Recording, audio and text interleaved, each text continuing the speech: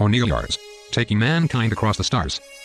Owning the majority stake of the Titan Yards Complex, the Phobos Materials Complex, New Earth Trading Company Orbital Facility, and a number of large-scale projects in the Lyran Alliance and Federated Suns, O'Neil is one of the leading part brokers of aerospace industry, involved in the production of KF drives since the dawn of interstellar travel.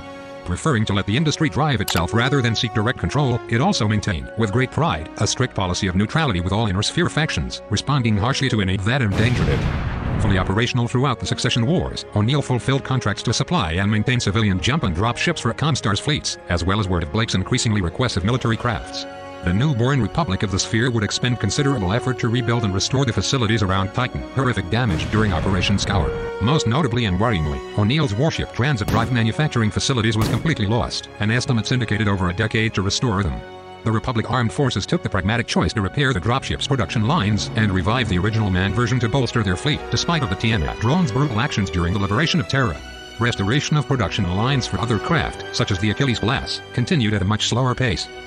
Subscribe for more videos like this. Bye for now.